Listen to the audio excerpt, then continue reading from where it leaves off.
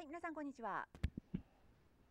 本日は令和5年の司法書士試験、えー、一発合格されました。あ、ね、合格者インタビューということであのもうあの引き合格ほやほや。この間講習終わったばっかりですね。あそうですね。ありがとうございます。ちょっとねいろいろあのね初学者も法律学習経験ない状態で、えー、一発合格されました。具体的な勉強方法だとかあっていうところをいろいろお話を伺っていこうと思います。であのまず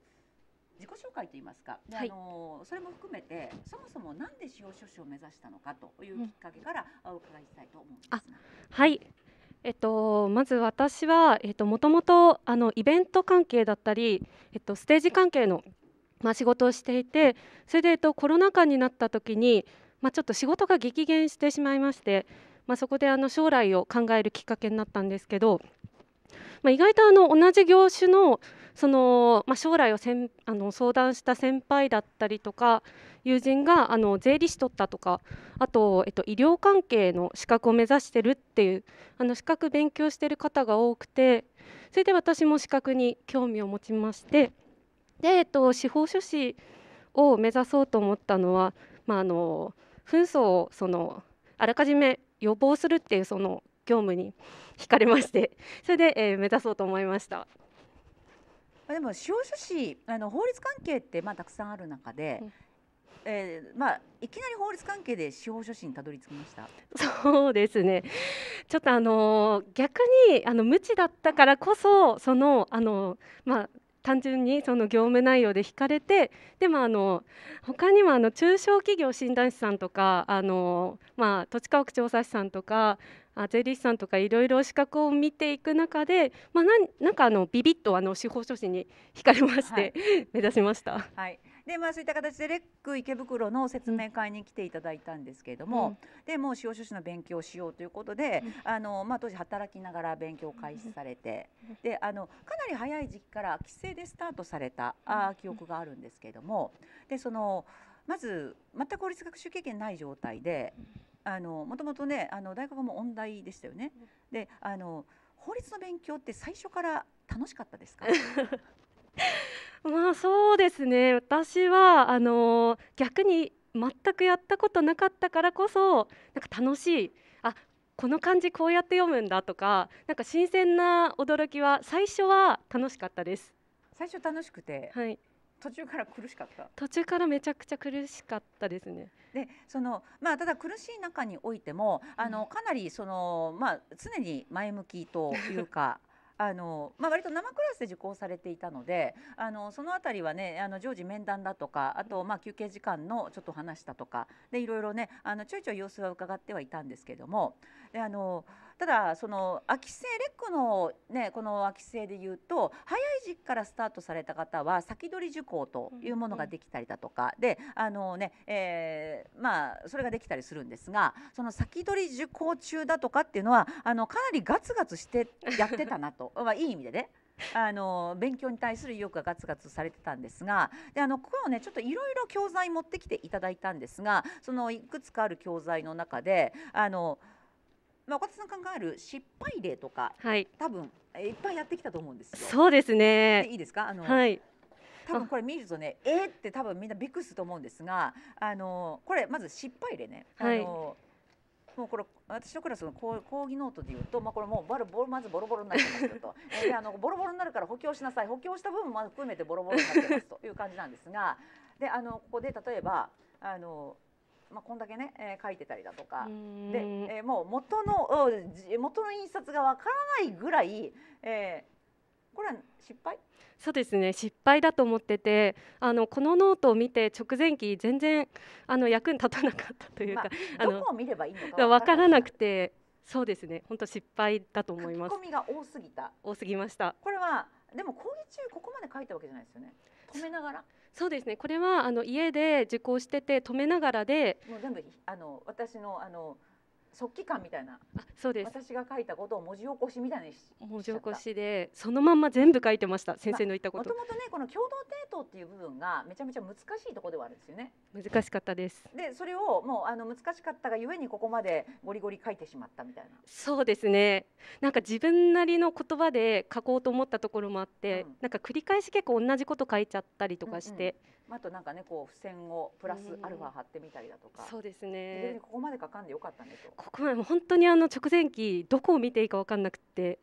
まあ講義中に取れるレベルでメモを取っていけばいいとそうですねいう感じを途中で気づいた。途中で気づきました、はい。で、あの結構もうそのねずっとこんな感じで、あのこれまあ先取り受講中のやつ。これはえっと本ちゃんの素晴らしいでもまああのまあねあのそう岡田失敗例とおっしゃったんですがただ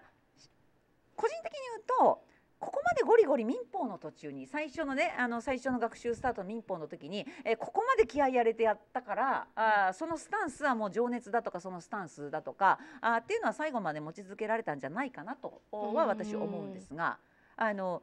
えー実際ですねあの講義中にどれだけメモを取るのか、えー講義中に聞くことに専念すべきなのか。あーもしくはあある程度メモを入れるべきなのかに関しては一発合格者のテキストってそこそこ書き込みあります。であの私も講義中私の講義においては結構講義中に、えーここ後からこうあの混乱するからメモ入れてとかあー、ね、あらかじめメモを渡したりだとかもあの生の方にはしてたりはするんですがであのそこそこあのまった全くメモ入ってない状態だとそれこそ直前期にまっさらな状態のテキストになると結局全部ベタ読みしていかなきゃいけなくなったりはするので。あのある程度のメモは必要だけども、まあ、ここまでなくていいかなと。いう感じなのかな。そうですね。あのあのこのぐらいの元のもう余白もないぐらいの。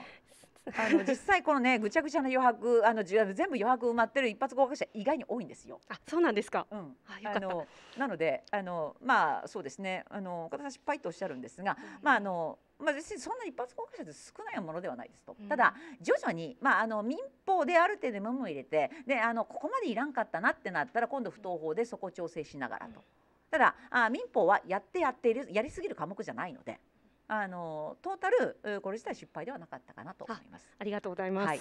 で、えーあとまあそうですね、あのそれ以外で言うともうこれもびっくりですね。あのこれは先取り受講中かな？あそうですね、うん。これは先取りの時です。先取り受講中で、はい。まあ、これもまた共同抵当で。まあ、あのびっしりですね。あのもうしかもこの余白が足りなくなって耳なし小石って分かる 耳なし小石みたいな状態になってあのさらに付箋も貼ってあってみたいな状況にはなっているんですが、まあ、これもここまでやらんでよかったなと。これもそうですね。あの共同抵当って本当に難しいところなので、ねうん。あのすぐ振り返られないっていうのがちょっときつかったですね直前期、で結構ねあの、うん、割と苦手なところが出てくるとここが苦手なので攻略します頑張りますみたいなあ宣言教えてチューターだとかで、うん。あのね、えーしてたのがまあすごく覚えてるんですが。ね、ここが嫌いなのであのいつまでに攻略しますみたいなことを事前予告して、であの例えばそうですね進めばあ組織再編というねうん分野会社法で皆さん苦手なところ出てくるんですが、あの最初組織再編嫌いだ苦手だと言ってて、最終的に組織再編もう一周待って好きになったと。だから本試験出てくんないかないや本当そう思ってました。うん。なんかあのー苦手なところをそうやって佐々木先生にまあ攻略しますって宣言してであまりにも勉強しすぎてなんか一周回って好きになるっていうパターンが結構多かったように思います。まあ、でもそれの意識っていうのは自分の苦手箇所を強く意識してそれをあの攻略しないともうねあのなかなか本試験それ出ちゃったらどうしようとか、うん結局苦手と感じるところっていうのは結構本試験でも重要な論点だったりはするので。そうですでね。えーそれを一つ一つもう本当に愚直に そうですね。攻略してったイメージはあるんですが、はい。じゃああのちょっとそれ以外で言うとあのテキストはブレイクスルーテキストですね、えーであのさっきもあの講義ノートありましたけれどもあの例えばそのブレイクスルーテキストで、えーこちらですねあのこれも不動産登記であのかなりの量あるんですがこれも多すぎたパターン？これはあのーこれは書き込み多いんですけど、まあ直前期はあの頼りにできるレベルの多さかなって。あはいはいはい、あでも確かにさっきのよりは多少文字がでっかい そうですねと。かあとなんか文字の記載に若干その枠丸を枠を入れたりとかなんかちょっと工夫が見られるっていうところはあるのかな、多分皆さんパッと見じゃわからないと思うんですが あのそんな感じではあります。であのそうですねあと復習時にこれ加筆したりしました？そうですね。あの復習講義受けてからの復習はかなり過失はしてました。うんまあでも全部が全部そのびっちり書き込みがあるわけではないので、うんうんであのこの話自体はですねあの内容的に結構あの皆さんあのこれ全部やるところやるとこチェックの箇所なんですがあのこういったところに関してもあの全部が全部ベタベタに書き込みが入ってるわけではなかったりするので、まあ、割と強弱は必要なのかなと。そうですね。はい、あとは例えばですね、えー今度これ商業登記で言いますと、うん、時々あの私も質問を受けててくすって笑えたんです。あのこういうねあのちょっと可愛い感じ。あの私の作った証明書でもいいんですか？みたいなこれは何？あそうですね。これはあのああのーなんかあの監査役うん。のキャラクターみたいなものをちょっと作ってて、であのたまにこうやって勉強に行き詰まった時とかにあのキャラクターに喋らせたりして覚えたりしてました。まあでもあの私もなんか質問で「何これ?」って言って「あ可愛いね」って言った記憶はあったんですが 結構ね会社法でイラスト描き始めるあの方は多くてあの過去にも合格者でいらしたんですがああそうなんですね。うん、あのそのチェックマンが大関西関西役って大体イラストにしがちなんですがあのそんな感じではありました。であのまあ商業登記ぐらいになってくるとあの重要論点ではあるけれどもあのかなり、えーのメモとかも大きくなってきてですねあのまあびっちりメモって感じではないけれども、まあこんな感じのページにはなってきましたねと。でいうところではあります。であとえっと過去問なんですが、はいその過去問はどのぐらい解いたかというとあの過去問ちょっと今画面映しますね。これバラしてます。あ過去問はもう重たいんでばらしてう、うん。やってましたね。はい、でバラして、まあ、どのぐらい解いたのかでいうとまあそうですね。あの分野によってあのすまあ、大体56回のところもあればこれうん不動産登記の過去問です。であのこれ上巻ですね、えー上巻で、えー不動産登記の上巻で、あのこんな感じでですね、えートータルで、えーまあそうですね。ご10回までいかないか。10回まではあの分野によっては10回解いてあとちょっとそこに記載できなかった。そうね。もうあの 僕足りないみたいな。うん。うん。なんかあの記載してない分でもあの何回も回してるところはあります。ああもうあのもうもういいやってね連続で解いたりなんかそうですとなんかあの座って解いてただけじゃなくてその電車の中で回したりとかしてたんで。あいやいやうん。あそっかあのもうあの目目で解いてみたいな。そうですね。はい。で結構解説部分に書き込みというかアンダーラインというかはい。も多いですが、うん。これはもう最初から、これはもう直前期にほとんど書いたものだと思います。うん、であの直前期もうあのそうねこれってこうだよとかっていうのを解説してった感じですか？そうですね、うん。もう直前期はあの書いて覚えようと思ってとにかくあの加筆してきました。最初の段階からこれゴリゴリ書いちゃうと、はい。あのボリューム多くなりすぎるそうですね。最初はちょっともうあの読んでアンダーラインぐらいにしてましたね、うん、間違ったところにこのオレンジとかアンダーラインっあはい。ていう感じ。であのただものによっては結構さらっと正解できたものは5回とか。はい。であの私解いた日付とあと出来具合を、お記録してってねって言っていくんですがであの特にこれ直前期にも20あの、ね、正解がもう3問続いてるってことで。であの本試験もう超直前期にまた仕上げにもう一回解いてるそうですね。はい、であのまあ、皆さんね不動産登記っていうのはあのかなり苦労する過去問で不動産登記のしかもこれねあの上官って言えばおそらく皆さんがこれから一番苦労するう過去問の冊子の一つになると思うんですがただものによってはあの全く触ってないっていうものがあったりするんですが、はい。あのまあ、これは推論ですね。あの推論問題はもう解かなくていいという感じで、全くそういったものはあの直近の出題24年の出題ではあるもののもうバッサリ一回も解いてないみたいな。そうですねもうバッサリ一回も解いてないですね、うんであのあと結構もうそのゴリゴリメモが入ったりだとかっていうのはうんもうしてたりはするので、まああの問題強強弱ななのかな。そうですね結構メリハリつけてやってたと思いますはい。であとはちょっとあれこれ持ってきていただいたんですが、あのこれこれはまとめノート的な。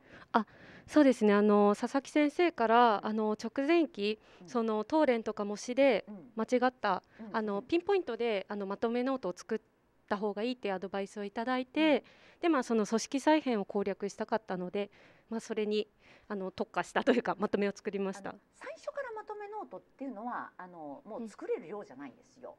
なので最初の段階からまとめノートっていうのはむしろ記載ややらない方がいいです。えー最初の段階はもうテキストに色つけていったりだとかテキストに加筆していくというやり方でいいんですがただあの、まあ、ゆくゆくはもう直前期になってくるとあのこれね、えー記述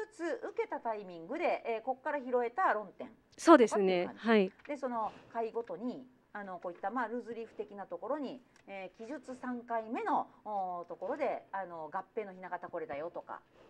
っていうのをピックアップして書いてた。ここにもイラストありますが、あそうですね。あのえー消えるのに簡易どころじゃねえよと。あ そうですね。とかね。はい。あのまあ、受験生からすると、まあ、このメモを見るとある程度商業登記までやっていくと、まあ、会社法とか商業登記までやっていくと、はい。論点的に分かってくるんじゃないかなと思いますが、であのね、えーこれも素晴らしいですね。吸収合併が出たら最低限気をつけることみたいな。はい。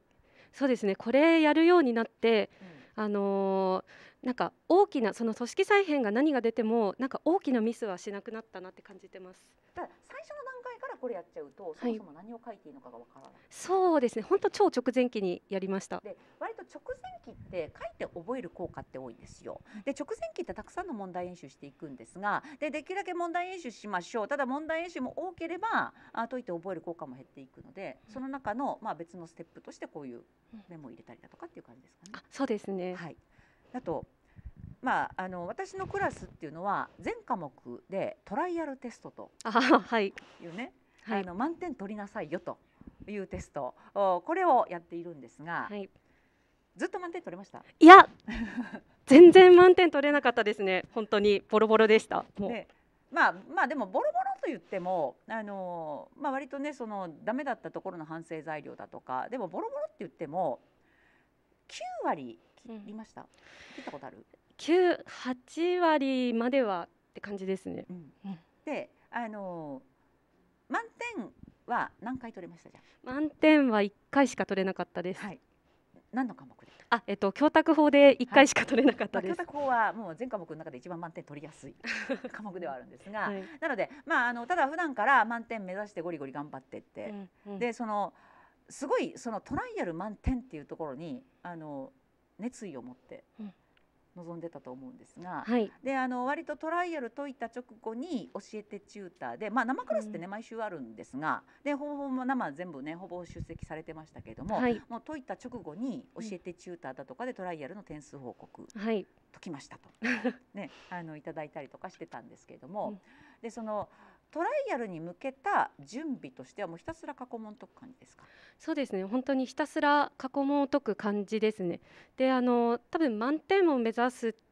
ていうのはなんか例えば100点満点だったらまあ120点150点200点ぐらいその目指さないと満点って取れないんじゃないかなって思っててなのでなんかそういう意識で過去問を解いてました。なので、えー過去問もあの司法書試験の過去問ってあの五子択一式というか、えー組み合わせで、まあ、言ったら知らない問題が知らない設問があっても、答えって出せちゃうんですよ。であのねえー資格の勉強されたことのある方は分かると思うんですが、えー全部で設問が5つありますと。5つあるうち例えばその正しいものの組み合わせどれですかっていうと「えあいうえお」の組み合わせのうち。であのそうすると消去法でわからない選択肢があっても、まあ、一応正解番号を出せるよねと。その問題は正解はできるにしてもただ120%、150%でいうと全部の設問がちゃんと理由付けも含めて分かるようにしておかないと。で結構ねそのトライアルあの、ね、私のクラスでトライアル受けたことのある方は分かると思うんですがあの元ネタ過去問でであの講義の中でも、えーね、ベッタベタに解説したと超大事だよと言いまくったところから抜粋して過去問でだあの、ね、えーこれをバラ一問一答形式で出すと。で民法だと80問とかね、えー不動産登記は50問2回やったりとかあするんですけども、えーそこでまあ満点目指していくと。はい。で意外にねあの過去問だとあの五子択一形式だと、まあ、あの説問組み合わせ形式で選ぶ形式は少々ほとんどなので。そうすると正解できる問題でも途端にばらされると、うん。どっちだっけ？そうですね。単発で出るとちょっと迷っちゃったりとかして、うんなのであのそのあたりのすごい精度を高めていくっていうことにもう命削ってるぐらいテーマだと思うんですが。そうですね。であのあとは私のクラス結構ねあのどのぐらいの人が何どのぐらいいましたよとかあの、ねえー満点いましたとかね。はい。あのねえーな例えば民法だと満点出ることはあんまないんですが79問が何人いましたとかうん78問何人いましたとかはい。っていうとそこにメラって思いました。メラ悔しいとか。そうです。本当めちゃくちゃ悔しかったです。このこのね見てわかる通りあの本当に普段から性格の良い方 あの、ね、なんですがあのでもやっぱりその悔しさみたいなものってうん結構原動力になりました。かなりなりました。あの本当に私のいたクラスはもう皆さん本当にあのすごい人ばっかりというか皆さんもガツガツ勉強している方ばっかりだったんで本当に原動力になりました。結構その生クラスの空気でみんな和気あいあいじゃないですよね残念ながら。そうですね全然あ全然って言っちゃまあでもでもあのそんな感じです。はいあのなんか休憩時間にみんなべちゃべちゃ喋って、はいあの帰り飲みに行こうみたいな感じの空気はまずないですね。ないですただもう休憩時間もみんなコツコツ囲もんといてたりとか、はいなんとなく、えー、ちらっとテキストを見るとこういうボロボロのテキストがいるとなんかうわすげえと思うじゃないですか。まあそんなねあの、はい。方たちが多かったですね。そうですね。本当に多かったです、まあでもその中の一人ではあったと思うんですが、であのねすごいいい点数取ってるっぽいライバルを見えると。はい。クソが私も頑張るぞいやそうですね。あの先生のそのあの点数満点いましたよとあか言われると。とか言われると、まあ、本当なんかお腹が痛くなるというかうわーとか思って 毎回そうでした本当に、はい、であのじゃあ具体的にどのぐらいの点数を取れていたのか。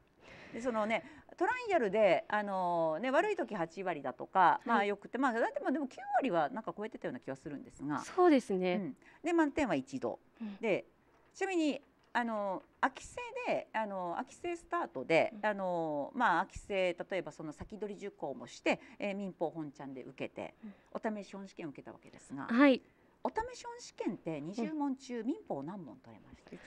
あ大丈夫です、うんえっと20問中14問しか取れなかったです。であの確か当時私は20問中あの、うん。年によってもねお試しでどのぐらい取れるかっていうのは年によっても違ってくるんですが、あ確かあのあの年は16問で順調だったとかそんな感じだった。そうですね、うん。それで順調ってであの、はい。お試しでも20問とか満点っていう人が何人かいたりだとか。いましたね。お試しで あのはい。20問満点とか19問が結構何人かいた年なんですよ。まあ、そのぐらいあの初受験生、まあ、お試しの人でも取りやすい民法だった年だったんですが、で16問で順調ですよとか言われてはい、あんなに私民法こんなにメモして頑張ったのに 14問とか、そうですね。もう本当めちゃくちゃ悔しくてって感じでした。のまあねあのその時のもうなんかもう絶望に近い、はい。こんなにやったのにみたいな私うん。何が間違ってたんでしょうかみたいな、はい。あのところは私もすごい覚えてるんですが、うん。ただでもそれどっかで原動力に次なりました？あ本当にあの原動力になりましてまあなんかあのブラックエンジンみたいなものになってあのその次の不動産登記からまあ心を入れ替えて頑張れました。あの私ブラックエンジンホワイトエンジンっていうのはねあの講義の中でもたまに言うんですけれども、あのまあ皆さん司法書士を目指す時にはその世に役に立ちたいだとか家族をし幸せにしたいだとかまあいろいろねあの目指すところがあってまあそのね、えーホワイト、ね、あのねあのその白い心でまあ始めたりすることは多いと思うんですが実際ね普段日々の勉強を頑張っていく時ってそのホワイトエンジンだけじゃ無理なんですよ。もちろんねそういったものが一切ないですという方も中にはたまにいらっしゃるんですがただほとんどが悔しいとか見返してやるだとかあー、ね、あの何クソみたいなものがないと日々の勉強って今日頑張れないんですよね。そうですねであの結構それがあのお試し本試験をきっかけにあの最初から結構ゴリゴリ頑張ってたんだけれども、あのそこからなんかねもう腹くくれたという感が 私はもう日々伝わってきて。はいあの反面なんかねあの悪い点数取った時ってあのそれが自分を飛躍するきっかけにはなると思うので、うんあのまあ、それは皆さんねあの多分勉強を始めるとお悪い点数を突きつけられることってまああるんですようん。どんな一発講学者でもいます。で、えーただそこで腐ってしまうのかあーただあ自分の改善点を見出して、えーもっともっと貪欲になれるかっていうのは、あの捉え方次第だなと思うので、えーぜひあのなんかね、えー気持ち落ち込んだ時に悪い点数取った時には私のブラックエンジンと思っていただいてうん。であの次に向けていただきたいかなと思います。で、えーあと直前期のテストだとかっていうのはこれ見せていいのかな？あはい。あのこれは解いたものと、はい。えー記録あのそうですね。ちょっと見づらいんですけど、その解いて復習あのその復習うん。まあ、解説冊子の読み込みをして、かつもう一回解き直したものに丸をつけてます、ねあこれね。はい、ああと点数これ点数とかも書いてあります。であのこれ直前期もう本試験3ヶ月2ヶ月前とかであの例えば択一で言うと35問中あのまあね択一最初あの28問正解。はい、でまああの 1, 1回目はよかったねすごいじゃんって、はい。あの35問中28問だと結構あの1回目にしては素晴らしい出来なんですよ。であの一緒に喜んだのは記憶してるんですが2回目3回目と伸び悩んでそうですね。24、そして22キャーって感じです。はい、で残念ながらちょっと22とかになってくると合格厳しいぞみたいなあー状況にはなってくるんですが、はい、であのただ1回目28取れたからそれをまあ一つの自信にしてあのまだコツコツ頑張りなさいみたいな形で、えーただなかなかちょっとね伸びなくてそうですね。いわゆる4月苦しかったですね。もうあボロボロでした1ね回目良かっただけにはい。あのね、えーちょっとなかなか伸びないねとはい。いうところで、えーただまあ午前はあのねトライアルもまあねあのまあお試し音試験はまあ毎日だったけれども、えートライアルはまあ結果出てたしみたいな感じであのまあ課題まずは課題は午後の部を伸ばそうみたいな。であのというところであのもっと言うと5回目ですね。あのこれもう5月に入ってます。本試験もうあの、ね、2ヶ月切ってますというところでさらにまた点数下がって2020みたいな形で35問中20問。いやーもう恥ずかしい、とで1回目のもう28がまぐれだったんじゃないか。いや本当そう思いま本当お恥ずかしいぐらいもう本当そう思いました。で一発合格者ってある程度成績って右肩上がりで伸びていくんですよ。あの4月が例えばあの、ね、4月の段階で20とかだったとしても、えーね、あの4月の下旬ぐらいで、えー4月の上旬で20ぐらいだったとしても上旬ぐらいで23ぐらいになってでそして5月ぐらい25ぐらいになってみたいな、5月下旬ぐらい28ぐらいになってみたいな感じで右肩上がりで伸びていく方が多い中右肩上がりって嘘なんじゃないかと。うん。で、えーあのいう感じではあったけれどもただまあでもそれぞれも前向いて腐らずにコツコツそうです毎ね日シュース通って。もう本当に。あのでコツコツ頑張ってってでも今回模試って結構良くなってきましたよねそうですね。公開模試でね。あ大丈夫です、はい。公開模擬試験でであの、まあ、他社受けなさいっていうことで、えー他社も受けに行って。であのあとレックの公開模試1回目はこれあの5月の上旬で、えー午前21午後28で2回目が5月の下旬で2725でようやくここで久々に午後がはい。25超えたねみたいな。そうなんです。はいであの3回目4回目とで3回目がもう29あの30行きたいねみたいなうん。こと言ってて、はい。で4回目があのちょっと微妙だねみたいな下がっちゃったねみたい そうですなただあねの 4, 4回目に関してはちょっと問題が難しかったのでそれ込みで、はい。まあ、ただあの着々と実力的には伸びてますねうんというところであのまあうんそうですね悪かった時にも、まあ、記述もね一桁の点数とか取ってることもありましたね。7点。かなりありましたね7点35点満点ですよ、えー、記述35点満点で7点。で2回目が7.5点はい。で、えーそして3回目でようやく24.5点、はい、まあ記述は直前期って25点をコンスタントに目指しましょうと言っていたのでなかなか記述あの商業もともと得意でしたよね。最初1回目34点とはいトータル的には基準点超えてるけれども、そうですなんとか不ね当法の点数を安定したいと。そうですね。結構その毎回ああピンクがいるっていう得点ね。あうん。得点で、うん。えっと不当法結構直前期までもう枠ずれしてたんでなかなか伸びなくて悩んでました。ねあのファイナル最終回に至っては6点いやーそうですね、ってなってくるとでじゃあこの記述であのそうですね。えっと記述実習室みたいなものもうちやっててですね。そういったものをあのいつ解いて復習してみたいな、はい。これを繰り返して。そうですね。で結果あの、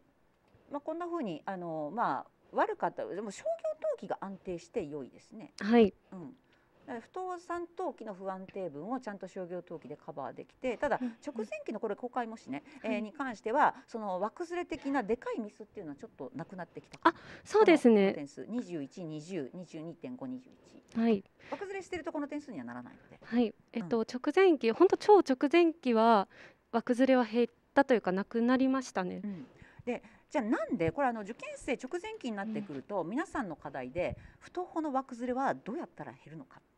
みんな知りたいんですよ。何しました？そうですね。それもあのーまあまとめノートでその枠ずれした論点をもう絶対に同じことを繰り返さないようにその枠ずれした論点をだけを集めたまとめノートを作ったりとかしてました。そうですね。間違いを書き出す。はいあのこれの時には事前に名編がいるよとかはい。あの間違い論点をピックアップしてであの私も私も自分が直前期やってたんですが、えー記述ででかいをミスした時にはあのそれをもう事案ごと全部書いていくんじゃなくて記述問題解くようになると出題論点一覧表ってあるじゃないですか。ああいったところから自分の間違ったところをピックアップして書いたりだとか。そうですね、はいでその間違いあのと同じ問題解いててもまた同じ間違いをしてやったりだとかっていうのは、うん。もう解いてダメなら書いてみるっていう感じですかね？そうですね。解いてダメなら書いてかつ、えっと、それから1週間とか、まあ、45日ぐらい経ってまた同じ問題をもう一回解き直したりとかしてました、うんうん。あのその2週間以上空けないっていう感じですかね？そうです。の2週間。一以内にははい。もう一回間違った問題を解く。そうですね1週間以内そうですね1週間以内に解いてましたね。はい。で、あのそのような形でまあまああのコツコツこなしていった、えー、ところではあるんですが、ちなみにあの全くオフの日はい。で勉強時間どのぐらいやってたのかということなんですが、勉強まずスタート時点。うん。で結構最初から先取りも含めてガツガツやっていたので、あのまあちょっとそれ込みで聞いていただくとスタート時点でどのぐらいやってました？えっと、全くオフの日はスタート時点はもう正直5時間ぐらいしかやってなかったと思います。であのじゃあそれが直前期。はい。直前期はもう12時間13時間。もうなんか勉強かそれ以外かって感じでしたえっとそれは正味の勉強時間机に向かってる時間。あ机に向かってる時間じゃなくて賞味の時間です、であの皆さんに勉強時間の記録をするといいですよと言っているのが机に向かってる時間だと結局スマートフォン触ったりだとかあのぼーっとしてる時間うとうとしてる時間もカウントに入れちゃダメなんですよね。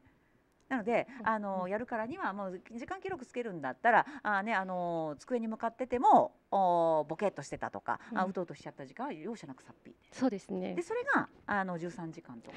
大体そうですね。そのぐらい行ってたと思います。はい、割とあの私が受験生の時って私はあのもうどんなに頑張ってもマックス12時間の壁が越えられなくて私が受験生の時の最高記録は11時間55分だったんですが。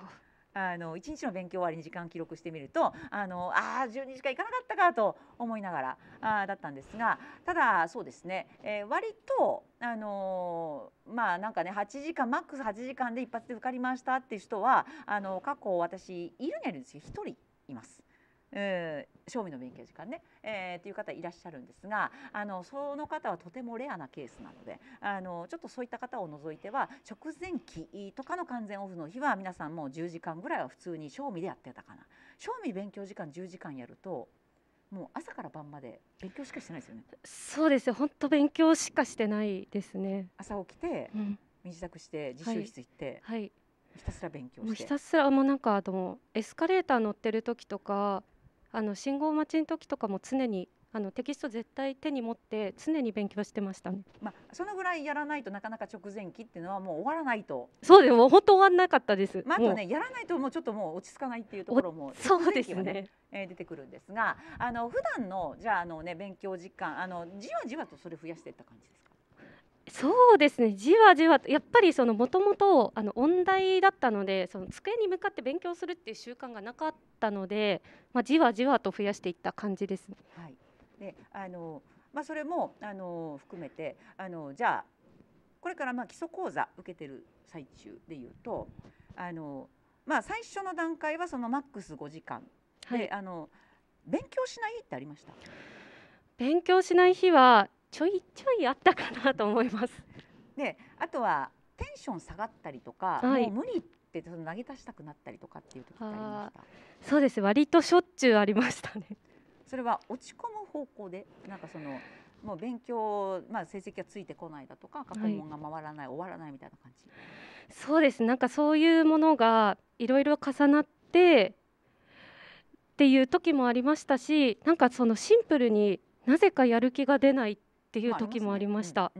はい。そういう時どうしました？でそういう時はあのどうしたらいいか分かんなくてちょっとあの勉強が得意な弟にアドバイスを聞いてみたんですけど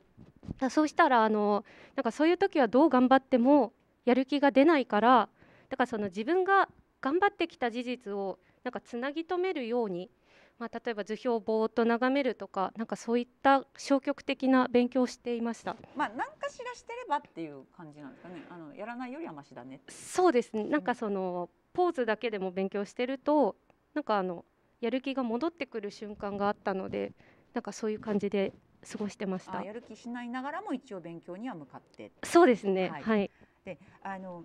まあ、あとはねあのそうですね割とその私から見るともう本当にもうこんなに素直な受受講生さん見たことないっていうぐらい あの素直にコツコツで前向きに見えたんですがであの割と受かった後の話っていうのを結構ねあの受験勉強中からすることもあったと思うああったんですがあの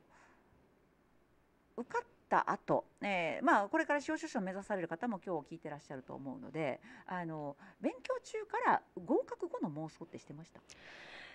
そうですね。正直なんですけどあまりもう考えられなくてもうただただもう今のことばっかり考えてました。あの目の前の復習をいかに終わらせるかとか、はい。問題どう解くかみたいな。はい。あの受かった後も漠然とゆるっと最初の方にあったぐらいでとにかく受かるんだっていう方が強かった。そうです。まずはもうまずはそこですね一発合格するんだっていう気持ちが強かったです。はい。あの一発で受からなかったらどうしようって思いました？いやーそうですね。めちゃくちゃ結構毎日思ってましたけど考えないようにしてました。あのうん、あ一発まあ結構ね一発合格される方って皆さん一発合格しか考えてないんですよ。あのダメだったらどうしようっていうのはその時考えりゃいいやいいやみたいな形であのまあね心の中であの自分のの多分あの心の保険的にあのって言ってもね一発合格って大変らしいじゃんって思うことは出てくると思うんですが一発合格者もう誰一人あのもう例外なくですねあの一発合格を信じて疑わないと、えーねあのダメかもしれないって思ってもやってみなきゃわかんじゃんわかんないじゃんみたいなあのところは多分出てくると思うので。はいね、あのまあぜひですねもし弱気になった時にはでもやってみなきゃわかんないじゃんとかあのまあちょっとそのプラスの方向でえー考えていただくといいんじゃないかなと思います。であのじゃあ話振り返ってさっきね自習室だとかもよく利用されてたということなんですが、はい。であの池袋通学であのちょっといいろんな自習室あちこちちょっと使ってたと思うんですが、はい。勉強場所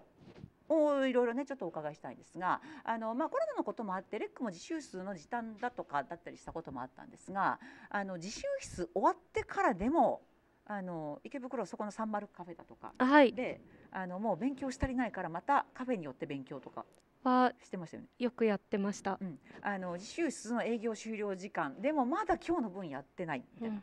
そうです。なんかその勉強してると気持ちが乗ってくることもすごくあったので足りないってなった時はそのカフェに行ってやったりとかしてました。家で勉強しました？家でもやりました結構。うん、であのその家でやるときジュースやるときってなんか違いはありました？そうですね。やっぱり自習室だと周りも勉強してる方が多くてやっぱなんかそのトイレとかで離席するのもなんかなんかあいつ離席ばっかりしてるとか思われたくないとかなんか思っちゃって。ちょいちょいなんか席を立つ人にはなりたくないでちょっと思っちゃったりとかしてそうです。ねジュース利用するで見るといいと思うんですがこうはなっちゃダメだよねっていう方とであのこの中で一番勉強してる人になろうとかはい。いう気持ちってまあ芽生えてくるんですよ。うん。なのでちょっと言い方ねあれですが悪いお手本を見つけに行くっていうのもあのちょっと変な話、えー自分はそういう方向にならないようにしようという意味での使い方あとはもうゴリゴリやってる人が見見つかったならばあのその人を自分の心のライバルにして、はい。そうですね。あの頑張るっていうのは結構ね皆さんされてるかこと多いのであのぜひあの勉強モチベーション下がった時にはたまに手術を利用してみてあのその心のライバルを見つけに行くダメなお手本を見に行くと。であのであの自分を一番締めに行くっていうのはありなのかなとは思います。はいであのあとそうですねあの、まあ、ちょっとね振り返ってじゃあトータル勉強を通じてあの、ね、実質もう15ヶ月どころじゃないもう20ヶ月以上は勉強してたと思うんですが、はいあのクにしてまあ良かったって言うしかないようなこと。なのでえレックの何が良かったですか？レックのそうですね。わ私が良かったなって思うのはまずやっぱり佐々木先生のもとで勉強できたってことが本当に一番良かったですしあの自習室あの利用させていただく時もまあなんか池袋だったり新宿渋谷いろいろ利用させていただいたんですけどあのスタッフの方がその気持ちよく皆さんが勉強できるよう尽力してるのを毎回感じてあ本当にいい予備校だなと感じました。であのレックの,、えーあのその新15ヶ月合格コースを選ぶときに他いろいろ考えました？いや正直もう比較検討せず。ネットで検索してレックみたいな感じ？そうですね。なんかあの資格説明会にとにかく行こうと思った時に一番最初に出てきたのがあの先生の説明会で。たまたま日程があった。なんかあのねお家からは別に池袋近くはないんですよね。近くないですね。はい。うん、でまああの割と最初すごい情熱を持ってねキラキラさせて、あ はい。まあ、すごい覚えてるんですがあのじゃあうんそうですね。あの私も、まあ、この子は何としても受からさなきゃと思ってあのまあねあのその頑張りを日々見てきたと思うんですがあのであのじゃあ今後まあね一発合格めでたくされて、はいであの紆余曲折ありながら落ち込むこともありながら、うんでもちっちゃな伸びを感じてはい。頑張ってきた。そうですね。であのこの後どんな司法書士になりたいですか？そうですね。あのこの後はあの依頼人の方一人一人に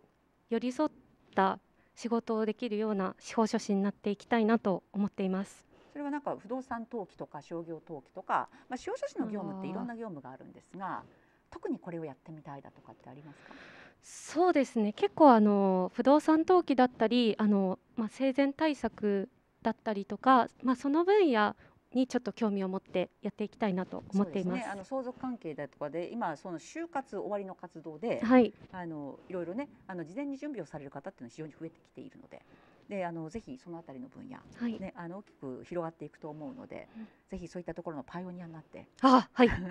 いただきたいかなと思います。であと今日あのこれあのいらしてる方もしくは YouTube 等で聞いてらっしゃる方にあのぜひ一発合格者の先輩としてはたくさんアドバイスいろいろあげたらきりはないと思うんですが、はいぜひメッセージをお願いします。はい、えっと今年あのたまたま本当に一発合格して、えっとまあ一発合格したものとしてまあ僭越ながらお伝えします。えっとまあ今勉強されている方はすごく本当に大変だと思いますし、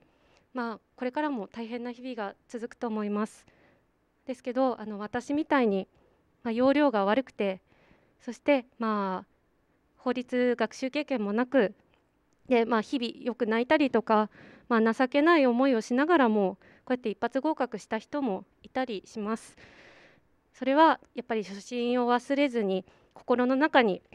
その炎を絶えず燃やし続けてきたからだと思っています。なので皆さんもどうかその初心の心の炎を絶えず燃やし続けてそしてその炎を守りながら